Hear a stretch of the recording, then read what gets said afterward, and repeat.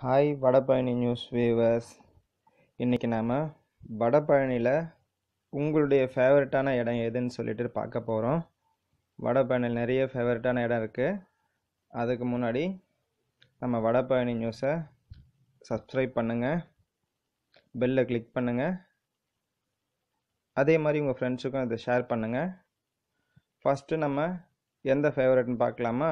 First நம்ம பார்த்தோம்னா Vadapalani metro Vadapalani metro railway station இந்த ரயில்வே ஸ்டேஷன் தாங்க இருக்கிற ரயில்வே ஸ்டேஷன்லேயே கொஞ்சம் ஹைட்டான ரயில்வே ஸ்டேஷன் அது மட்டும் இல்லை ஒரு நாளைக்கு மூவாயிரத்துலேருந்து மூவாயிரத்தி ஐநூறு பயணிகள் வந்து வந்து போயிட்டு இருக்காங்க. நம்ம வடபழனி மெட்ரோ ரயில்வே ஸ்டேஷன் மட்டும்தான் பெரிய ஷாப்பிங் மாலோட கனெக்ட் ஆகுது.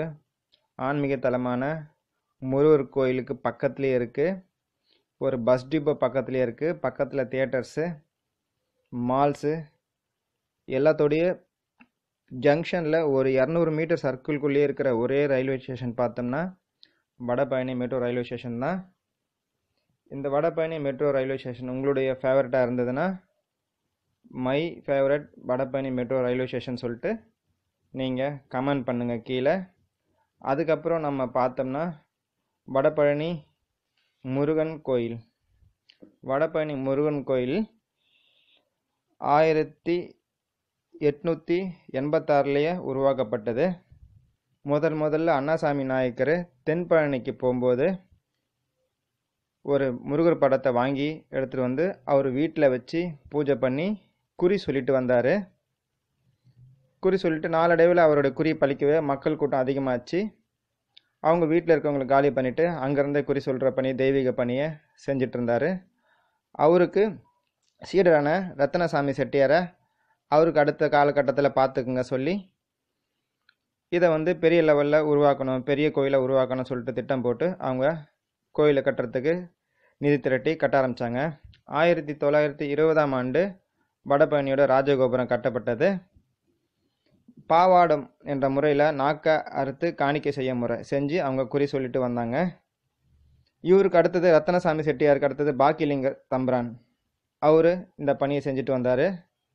இந்த மூணு பேருக்கும் இந்த மூணு சித்தருக்கும் வடபழனி கோயிலுக்கு பின்புறம் உள்ள நெற்குன்றம் சாலையில் அவங்களுக்கு பீடங்கள் இருக்குது பௌர்ணமி பூஜை சிறப்பாக நடக்கும். இவ்வளோ சிறப்புமிக்க வடபழனி முருகர் கோயில் பார்த்திங்கன்னா ஒரு காலத்தில் கோடம்பாக்கன்று தான் பேசப்பட்டு வந்தது. காலப்போக்கில் பக்தருடைய கூட்டம் அதிகமாகவே கோயில் கட்டி முடிக்கப்பட்டவை வடபழனி என்ற தனிப்பேரோட செயல்பட்டது. தென்பழனிக்கு போய் வேண்டிக்கிட்டு பக்தர்களுக்கு என்ன நிறைவேறுமோ அதை வந்து வடபழனிலேயே வேண்டிக்கிட்டால் எல்லாருக்கும் நிறைவேறியிருக்கு. நாளடைவில் கூட்டம் அதிகமாக இருக்குது இப்போ பார்த்திங்கன்னா சிறப்பு மிக்க ஒரு கோயிலாக இருக்குது இந்த வடபழனி முருகன் கோயில் உங்களுக்கு பிடிச்சிருந்ததுன்னா மை ஃபேவரட் வடபழனி முருகன் கோயில்னு சொல்லிட்டு கமெண்ட் பண்ணுங்கள் இதுக்கப்புறம் அடுத்தது பார்த்தீங்கன்னா உங்களுக்கு ஃபேவரட்டான இடம்னு பார்த்தீங்கன்னா கமலா தேட்டருங்க கமலா தேட்டருங்க கமலா தேட்டர்னு சொன்னால் எல்லாருக்குமே வந்து தெரியும் மோஸ்ட்லி இந்த தேட்டரு ஆயிரத்தி தொள்ளாயிரத்தி எழுபத்தி ரெண்டில் கட்டப்பட்டது. அப்போ முதலமைச்சராக இருந்த கல கலைஞர் கருணாநிதி சங்கிய முழுங்கன்ற முதல் படம் இதில் திரையிடப்பட்டது. இந்த தேட்டரில் நூற்றி ஐம்பது கார் பார்க்கிங்கோட முந்நூற்றம்பது டூ வீலர் பார்க்கிங்கோட ஒரு நவீன் நவீனமயமாக்கப்பட்ட ஒரு தேட்டராக இப்போ இருக்குது இது வரைக்கும் ஒரு ஐநூறு படத்துக்கு மேலே இங்கே திரையிடப்பட்டிருக்கு. இங்கே இந்த தேட்டரில் நம்ம படம் ஓடாதான் என்று இயங்காத நடிகர்களே கிடையாது. ஏன்னா வடபழனி ஸ்டூடியோ நிறைந்த இடம். இங்கே எல்லா நடிகர்களும் வருவாங்க. இந்த தேட்டரில் நம்ம படம் ரிலீஸ் ஆகணும் என்ற கனவு காண்ட நடிகர்கள் எத்தனை பேர் இருப்பாங்க. இந்த கமலா தேட்டர் உங்களுக்கு பிடிச்சிருந்ததுன்னா மை ஃபேவரட் கமலா தேட்டர்னு சொல்லிட்டு நீங்கள் கீழே கமெண்ட் பண்ணுங்கள் அடுத்தது பார்த்தோம்னா நம்மளுடைய ஃபேவரட்டான இடம் எதுன்னு பார்த்தோம்னா வெங்கீஸ்வரர் கோயில்.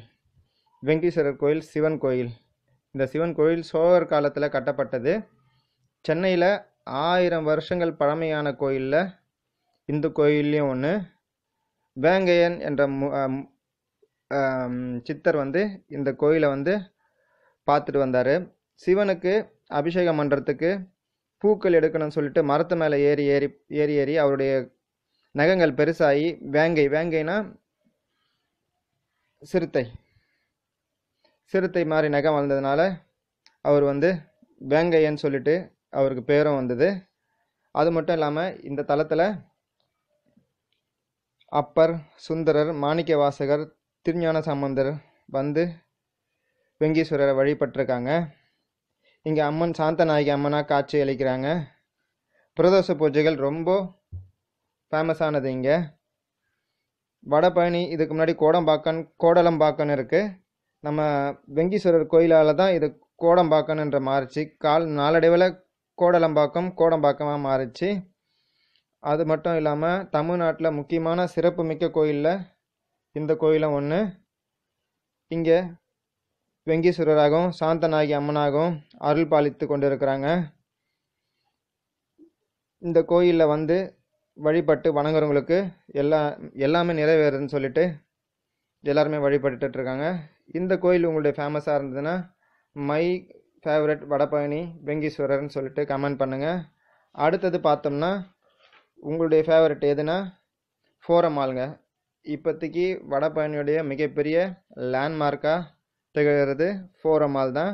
இந்தியாவில் பெரிய மாலில் இதுவும் ஒரு மால் சென்னையில் ஃபீனிக்ஸ் மால் அடுத்தபடியாக இருக்கிற பெரிய மாலில் இதுவும் ஒன்று ஆறு லட்சத்தி முப்பத்தி ஆறாயிரம் ஸ்கொயர் ஃபீட்டோட இது இருக்குது இது உள்ள நூறு கடைங்களுக்கு மேலே இருக்குது அது மட்டும் இல்லாமல் ஸ்பை சினிமாஸ் ஐமேக்ஸ் சினிமாஸ் போன்ற ஒம்பது ஸ்க்ரீன் இருக்குது இங்கே லக்ஸூரிஸ் தேட்டரும் இருக்குது முந்நூற்றம்பது ரூபா டிக்கெட்டோட குழந்தைங்களுக்கு விளையாடுறதுக்கான எல்லா கேம்ஸும் இங்கே இருக்குது உள்ளே போனோம்னா நம்மளுடைய என்டர்டெயின்மெண்ட்க்கு ஃபுல் கேரண்டியோட இந்த மால் இருக்குது இவ்வளோ பெரிய மால் வந்ததுலேருந்து இந்த ஏரியாவே டெவலப் ஆகிடுச்சு அது மட்டும் இல்லாமல் மெட்ரோ ரயில்வே ஸ்டேஷன் பக்கத்தில் வடபழனி பஸ் டிப்போ போன்ற முக்கியமான டிரான்ஸ்போர்ட்டேஷன் உள்ள ஒரு பெரிய மால் பார்த்தோம்னா இந்த மால் மட்டும்தான்.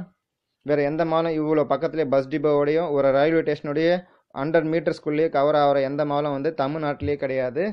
அந்தளவுக்கு டிரான்ஸ்போர்ட்டேஷன் ஃபெசிலிட்டி உள்ள மால் பார்த்தீங்கன்னா நம்ம ஃபோரம் மாலு இதில் மிகப்பெரிய பிராண்டட் கம்பெனிஸ் எல்லாமே இருக்காங்க. லைஃப் ஸ்டைல்ஸ் ஆர்எம்கேவி போன்ற எல்லாமே இருக்கிறாங்க அது மட்டும் இல்லாமல் பெரிய பெரிய ஹோட்டல்ஸும் உள்ளே இருக்குது அதனால் இந்த ஃபோரம் மால் உங்களுடைய ஃபேவரட்டாக இருந்ததுன்னா மை ஃபேவரட் ஃபோரம் மால் சொல்லிவிட்டு நீங்கள் வடபழனி நியூஸில் கமெண்ட் பண்ணுங்கள் கமெண்ட் பண்ணிவிட்டு அதை மக்களுக்கு ஃப்ரெண்ட்ஸுக்கும் ஷேர் பண்ணுங்கள் இந்த ஃபோரம் மாலுக்கு அப்புறம் உங்களுடைய ஃபேவரெட்டு எதுன்னு பார்த்தோம்னா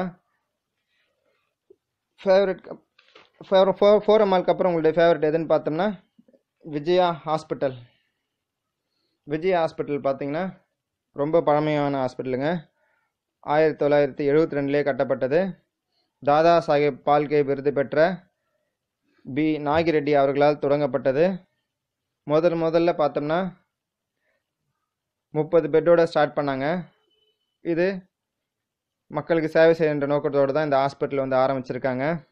அதனால தான் இவ்வளோ தூரம் வளர்ந்துருக்கு.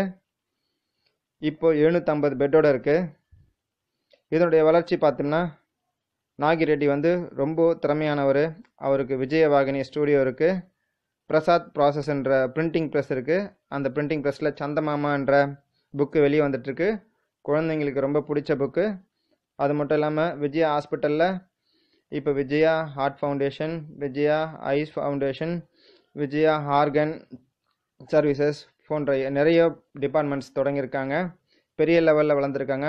உலக லெவலில் நல்ல ட்ரீட்மெண்ட் கொடுக்குற ஒரு பெஸ்ட் ஹாஸ்பிட்டலில் விஜயா ஹாஸ்பிட்டலும் இருக்குது இந்த விஜயா ஹாஸ்பிட்டல் உங்களுக்கு பிடிச்சிருந்ததுன்னா மை ஃபேவரட் விஜயா ஹாஸ்பிட்டல்னு சொல்லிட்டு நம்ம வடபழனி நியூஸில் சப்ஸ்கிரைப் பண்ணுங்கள் அது மட்டும் இல்லாமல் கமெண்ட் பண்ணுங்கள் மை ஃபேவரட் விஜய் ஹாஸ்பிட்டல்னு சொல்லிட்டு கமெண்ட் பண்ணி நீங்கள் அனுப்புங்க.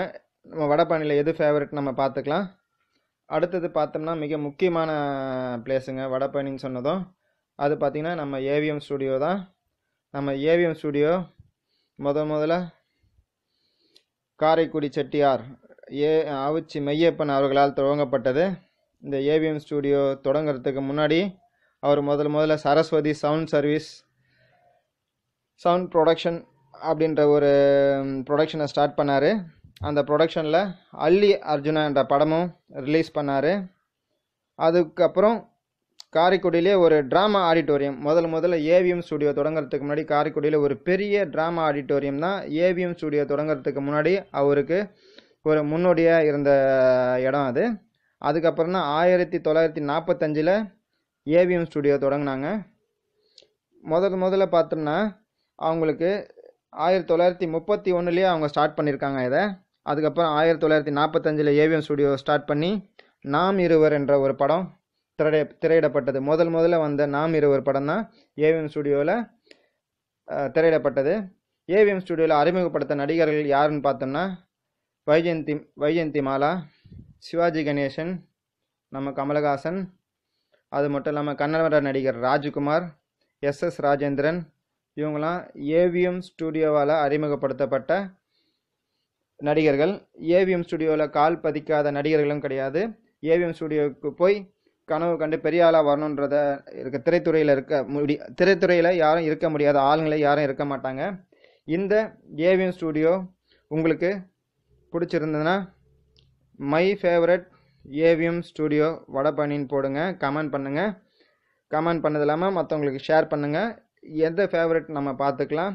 அதுக்கப்புறம் உங்களுக்கு வடபழனியில் ரொம்ப ஃபேமஸ் எதுன்னு பார்த்தோம்னா லக்ஷ்மண் ஸ்ருதிங்க லக்ஷ்மண் ஸ்ருதி பார்த்தீங்கன்னா V Raman and V Lakshman அவர்களால் வந்து மேனுவல் ஆக்ஸ் ஆர்கெஸ்ட்ராவாக முதல்ல முதல்ல தொடங்கினாங்க. ஆயிரத்தி தொள்ளாயிரத்தி எண்பத்தேழு ஒரு பத்து ஸ்டூடெண்ட்டை வச்சு அவங்க தொடங்கினாங்க. அது மட்டும் இல்லாமல் உலக சாதனை படைத்த மியூசிக் ட்ரூப்பில் இவங்க ஒருத்தங்க. முப்பத்தாறு மணி நேரம் அவங்க நான் ஸ்டாப்பாக மியூசிக் பண்ணி காமராஜர் அரங்கத்தில் இருபத்தி நாலாயிரம் ஆடியன்ஸோட அவங்க பண்ணியிருக்காங்க உலகம் முழுக்க பதினாலு கண்ட்ரியில் போய் ஏசுதாஸ் பாலசுப்ரமணியம் அவங்களோட போய் பர்ஃபார்ம் பண்ணியிருக்காங்க அது இல்லாமல் சென்னையில் திருவையாறு இவங்க வருஷம் வருஷம் பண்ணிகிட்டே இருக்காங்க. ரொம்ப ஃபேமஸான விழா சென்னையில் திருவிழாவில் ஒரு ஐநூறு இசைக்கலைஞர்கள்கிட்ட பங்கேற்கிறாங்க. ஏழுலேருந்து பத்து நாளுக்குள்ளே நடக்கக்கூடிய விழா இந்த விழா. இந்த லக்ஷ்மண் ஸ்ருதியில் கிடைக்காத இன்ஸ்ட்ருமெண்ட்டே கிடைக்க கிடையாது. எல் மேக்ஸிமம் எல்லா இன்ஸ்ட்ருமெண்ட் இன்ஸ்ட்ருமெண்ட்டும் லக்ஷ்மண் ஸ்ருதியில் கிடைக்கும். எல்லா இசை கலைஞர்களும் லக்ஷ்மண் ஸ்ருதியில் வாங்கி தான் அவங்க யூஸ் பண்ணுறாங்க மோஸ்ட்லி இந்த லக்ஷ்மண் ஸ்ருதி உங்களுக்கு பிடிச்சிருந்துன்னா நீங்கள் my favourite Lakshman ஸ்ருதின்னு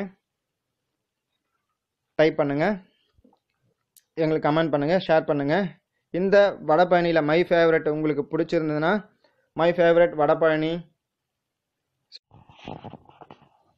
Hi Vadapalani news viewers இன்றைக்கி நாம